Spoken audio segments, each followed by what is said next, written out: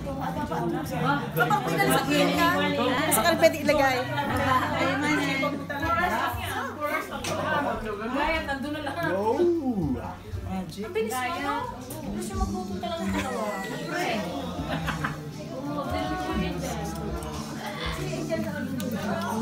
Yan o, papadala natin kay Ate Ami. Thank you. Umpisa na. Nagpunta ni Angel Ate Ami. Sa'yo, Ken. Ay, ano, kanina pa. Eh, kung italab na, tagal na rin. Tagal na rin. ano eh? Pwede mo naman pwede Oo, anak ni Kuya Randall at si Andre. Ay, may namin nila.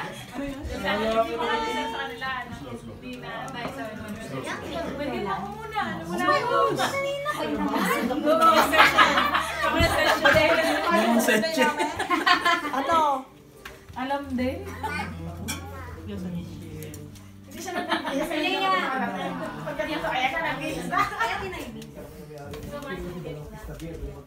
Yan, mga boy.